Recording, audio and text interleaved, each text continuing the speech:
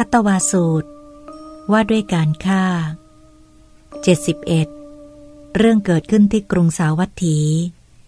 เทวดานั้นยืนอยู่หน้าที่สมควรแล้ว ได้ทูลถามพระผู้มีพระภาคด้วยคาถาว่า บุคคลฆ่าอะไรจึงได้อยู่เป็นสุขฆ่าอะไรจึงได้ไม่เศร้าโศกฆ่าแต่พระโคโดม พระองค์ทรงพอพระทัยการฆ่าทำอย่างหนึ่ง คืออะไร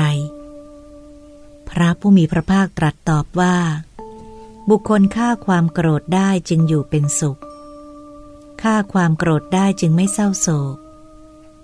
เทวดาพระอริยะทั้งหลายสารเสริญการฆ่าความโกรธ ซึ่งมีรากเป็นพิษ มียอดหวาน เพราะบุคคลฆ่าความโกรธนั้นได้แล้ว จึงไม่เศร้าโศกคัตวาสูตรที่หนึ่ง